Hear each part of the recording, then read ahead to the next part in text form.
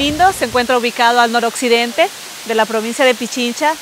Estamos en Mindo a 1200 metros sobre el nivel del mar, con una temperatura entre 18 a 24 grados. Estamos rodeados de todo un bosque subtropical húmedo o nublado.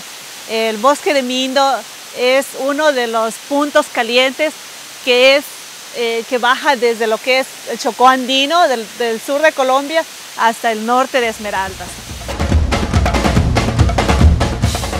Canyoning, descender por las cascadas. Eh, hay otro también que es el canopy, cruzar con líneas en la parte alta del bosque.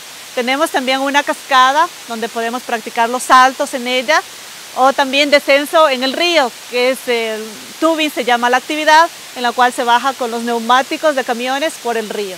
Es una de las actividades un poco más de aventura y de adrenalina que hay aquí en esta comunidad.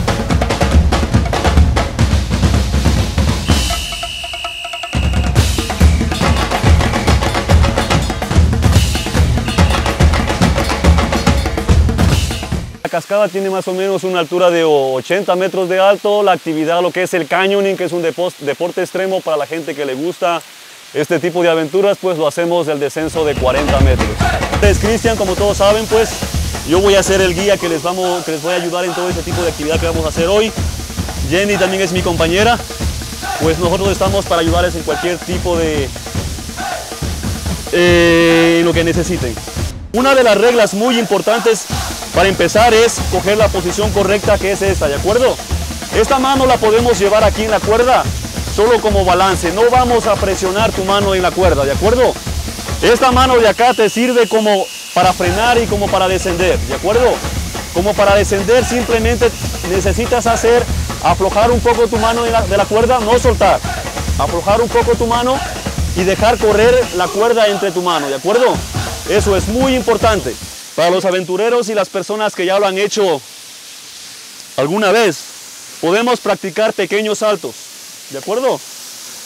Para practicar los saltos debemos inclinar nuestras eh, piernas un poco e impulsar nuestro cuerpo hacia atrás.